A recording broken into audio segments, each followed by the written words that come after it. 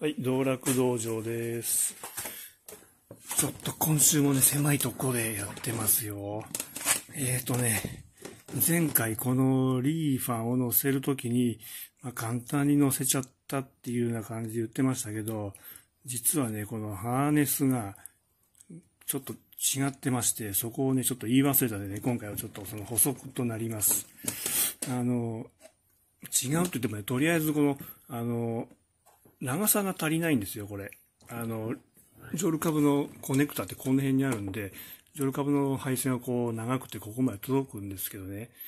この辺で終わっちゃうんで、まあ、しょうがないんでこれ、延長ケーブルをね、コネクタ付きのものを作りました。で、これをこう繋いで、まあ、使うと。で、これはあの、エーモンに売ってる、エーモンだけかな？あの、ホームセンターに売ってるような曲のものです。そのオスメスをね、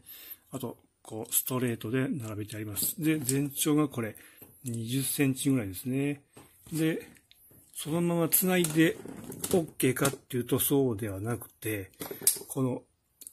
刺さってるこの線の位置がやっぱちょっと違うんで、これはね、あの、ジョル株のものと同じに差し替えてあります。ここのね、とこに細いものを突っ込んでやれば、あの、ピンが抜けるんで、それで差し替えてあります。えーっと、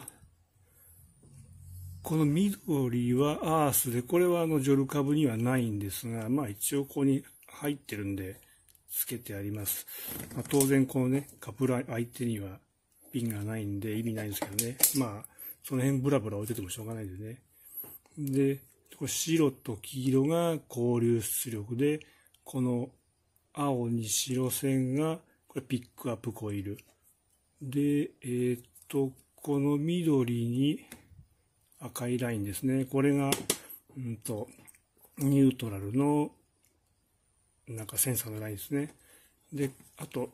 コネクタとは別に1本来てるのが、これがあの点火コイル用。これまた単独で1本延長ケーブル同じ長さで作ってあります。それで、えーと、あ、なんだっけ。ジョル株のものと違う。これジョル株のエンジンなんですけど、えーとね、さっき言ったように、えーと、見えるかな。白と黄色がこの交流出力で、この青いのがエピックアップコイル。で、こっち側に来て、えーっと、緑に赤いラインのものがニュートラルセンサー。で、えーっと、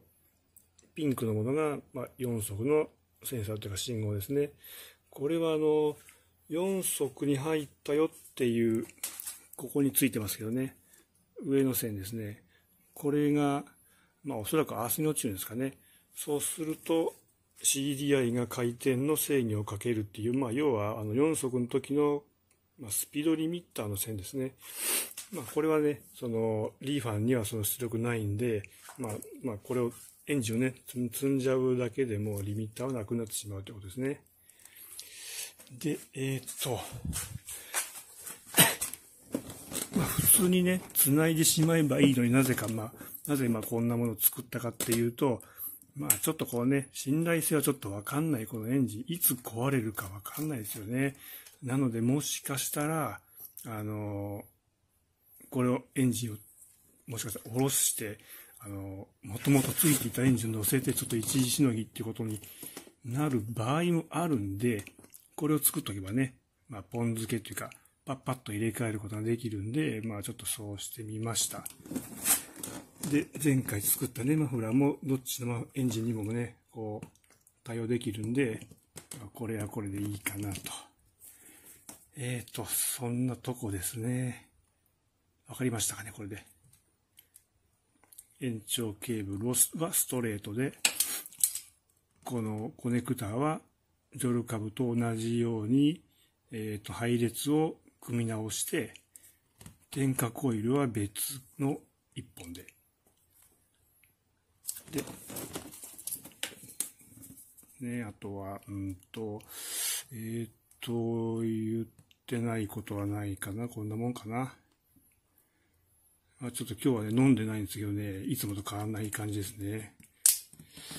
さあ、とりあえずね、あの、何度も積み直しがしても、まあ、元からエンジンここについていたかのように見えるようにしてみました。あとは線の関係は、えっ、ー、と、これはスターターの線なんで、これもともとついていたもんですね。これ点火コイルも、この線も全部ジョル株のものですね。そんなとこですかね。うん。お分かりいただけましたかね。まあ、それじゃね、またちょっとあと次回、あの、CDI のね、交換とかもやっていますんで、また別件で動画作りますんでね。それではね、狭いんで、このぐらいにします。それではまた。